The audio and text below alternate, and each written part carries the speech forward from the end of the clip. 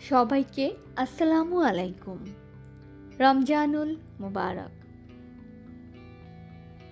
আশা রাখছি আল্লাহর রহমতে যে যেখানে আছেন, সবাই ভালো আছেন। আমরাও আলহামদুলিল্লাহ ভালো আছি। চারদিকটা খুবই নীরব হয়ে আছে। বাচ্চারাও তেমন একটা খেলাধুলা করছে না। আজকালকার ছোট ছোট বাচ্চারা রোজা রাখে মাসাল্লাহ খুবই ভালো লাগে। জুহায়ের গত বছর পাঁচটা না ছয়টা রোজা রেখেছিল। এবছর রাখতে চাচ্ছে কিন্তু আমি রাখতে দেইনি। ওর তো ওষুধ চলছে। তাছাড়া ওর শরীরটা এখনও ঠিক হয়নি। তো যাই হোক, ইফতারির আয়োজনে চলে এসেছি। নান রুটি করব। নান রুটির জন্য দুই কাপ ময়দা নিয়েছি আর হচ্ছে ইস্ট নিয়েছি।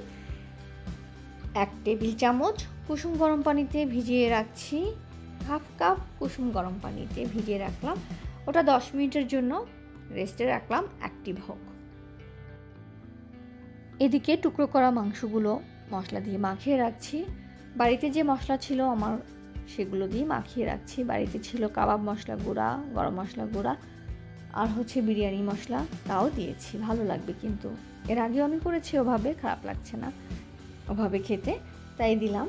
আদা, রসুন বাটা দিয়েছি, লাল মরিচের গুঁড়া দিব, গোলমরিচের গুঁড়া দিব আর হচ্ছে টক দই দিয়েছি, সরিষার তেল দিচ্ছি। লবণ তো থাকবেই, সব রান্নায় লবণ থাকে। আর হচ্ছে লবঙ্গের মাথার যে একটা ফুল থাকে, সেই ফুলটা দিচ্ছি। এটা আমি যে কোনো ভাজা পোড়ায় দিয়ে থাকি, আমার খুব ভালো লাগে। তো সব কিছু দিয়ে একটু মাখিয়ে নিচ্ছি। মাখিয়ে আমি বেশ কিছুটা সময় রাখব।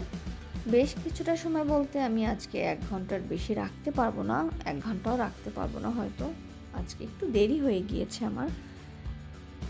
হয়তো পৌনে এক ঘণ্টার মতো আমি রাখব। তারপরে চুলায় দিয়ে দিব। আর দশ মিনিট পরে ইস্ট অ্যাক্টিভ হয়ে গিয়েছে। চিনি দিলাম এক টেবিল চামচ আর গুঁড়ার দুধ দিলাম দুই টেবিল চামচ। সামান্য লবণ।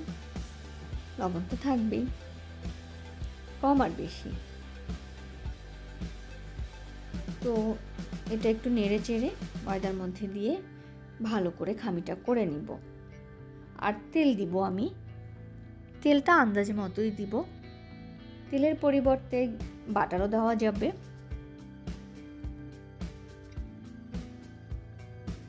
ময়দার মধ্যে ইস্টের সাথে যে সব কিছু মিলিয়েছি, যে মিশ্রণটা করেছি, সেই মিশ্রণটা ঢেলে দিব। খামিটা করতে যদি একটু পানির দরকার হয়, তাহলে আমি কুসুম গরম পানি দিব। আর তেল দিচ্ছি, তেলটা আন্দাজ মতো দিচ্ছি, দুই টেবিল চামচের মতন। আর একটু ঘি দিচ্ছি। আমার বাড়িতে ছিল ঘরে করাই ঘিটা। ওটা দিয়ে দিচ্ছি। ঘি দিলে হয় কি, ইস্টের ঘ্রাণটা আসে না। অনেকে হয়তো ইস্টের ঘ্রাণটা পছন্দ করে না। তখন ঘি দিলে আর ঘ্রাণটা আসবে না। খামিরটা ভালো করে মথে নিতে হবে। তো মথা আমার হয়ে গিয়েছে, আমি তেল দিয়ে নিয়েছি। উপরে নিচে ভালো করে তেল দিয়ে নিয়েছি। এখন ঢেকে রাখব। গরম কোনো জায়গায় রাখলে খুব ভালো হবে। তো আমি চুলার পাশে রেখেছি। চুলাটা তো গরম থাকে রান্না বান্না করছি আমি পাশাপাশি। তো সাথে ওটা থাকলে একটু গরম হলে ওটা ফুলে উঠবে। এক ঘণ্টার মতো আমি রাখব খামিরটা। তারপরে আমি বেলে ভেজে ফেলব। তো মাংস আমি ভাজতে দিয়েছি আগেই এটা হতে তো একটু সময় লাগবে, এটা তো আস্তে আস্তে ভাজতে হবে। ভাজা তো ঠিক না। অল্প তেলে এটা রেখে দিব, তারপরে একটু একটু পরে উল্টে পাল্টে দিব।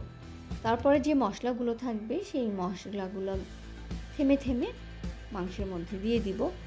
আস্তে আস্তে দিলে হবে কি, মশলাগুলো মাংসের ভিতরে যাবে, খেতে বেশি ভালো লাগবে। একবারই মশলাগুলো তো দিব না। চেপে চেপে দিচ্ছি, চেপে চেপে না দিলে মশলাগুলো পুড়ে যাবে। আর যে মশলাগুলো রয়ে যাবে, ওগুলো থেমে থেমে দিয়ে দিব। এই তো। চিকেন তান্দুরির সাথে নান পরোটা খুবই ভালো যায়। এর আগে তো আমি পরোটা কয়েকবার শেয়ার করেছি, সাথে চিকেন তান্দুরিও করেছিলাম। একবার হয়তো সুজির পরোটার সাথে শেয়ার করেছিলাম, মনে হয়। ঠিক খেয়াল নেই। সুজির পরোটা কিন্তু খেতে খুব ভালো লাগে। যারা যারা খেয়েছেন তারা হয়তো জানেন কেমন লাগে। যারা খাননি তারা অবশ্যই বাড়িতে তৈরি করে দেখবেন। সুজির পরোটা কিন্তু খুব ভালো লাগে খেতে। তো যাই হোক, চুলায় তোটা দিয়ে দিলাম। আর এটা অনেকটাই ফুলে গিয়েছে। আর একটু সময় রাখলে হয়তো আরও ফুলতো, কিন্তু আমার হাতে সময় নেই আজকে আর। আবারও ভালো করে মথে বেলে ফেলেছি। এরকম একটু মোটা হবে, পাতলা পাতলা হবে না। তো অনেকটাই ফুলে উঠেছে, দেখতেও মশালা ভালো লাগছে। খুব সুন্দর ঘ্রাণ চলে এসেছে। এক চিকেন তন্দুরি থেকে খুব ভালো ঘ্রাণ আসছে, আবার নান রুটি থেকেও খুব সুন্দর ঘ্রাণ বের হয়েছে। খুবই ভালো লাগছে। নান রুটি তো একটু মোটাই হয়, তো বেলার সময় একটু মোটা করেই বেলতে হবে। তো এভাবেই আমি সব রুটিগুলো বেলে নিয়েছি আর ভেজেও নিচ্ছি। পরোটা, নান রুটি বা প্লেন রুটি একটু লালচে লালচে না হলে আমার কাছে ভালো লাগে না।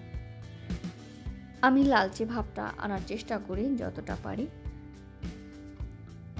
আর এদিকে মাংসটা হয়ে গিয়েছে, যে মশলাটা কড়াইতে ছিল সেই মশলাটায় আমি পেঁয়াজ কুচি দিয়েছি আর হচ্ছে টমেটো কুচি করে দিয়েছি, কাঁচামরিচ কুচি করে দিয়েছি।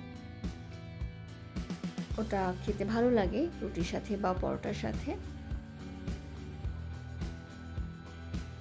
তো রুটিগুলো খুব ভালো ফুলেছে, দেখতে মাসাল্লাহ খুব ভালো লাগছে। চিকেন তান্দুরিও দেখতে খুব ভালো হয়েছে। রুটিগুলো এতটাই সফট হয়েছে, দেখতেও আমার কাছে বেশ ভালো লাগছে। দোকানের মতো সফট হয়েছে, এতেই আমি খুশি। খেয়ে তো আর দেখিনি। তো যাই হোক, খুব ভালো লাগছে দেখে, শান্তি লাগছে। খাওয়ার থেকে দেখে শান্তি লাগছে যে না মাসাল্লাহ সব মিলিয়ে যেমনই হোক ভালো লাগছে। এই তো এটা হয়ে গেল সম্পূর্ণভাবে। আর শরবত করেছে জুহাইরের বাবা। বেশিরভাগ সময় জুহাইরের বাবাই করে থাকে শরবত।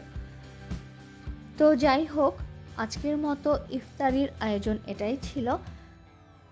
আজ এই পর্যন্তই। সবাই ভালো থাকেন, আমাদের পাশে থাকেন। আমরা সবাই সবার জন্য দোয়া করি। আল্লাহ যেন আমাদের সবাইকে ভালো রাখে। তো আজ এই পর্যন্তই। আল্লাহ হাফিজ।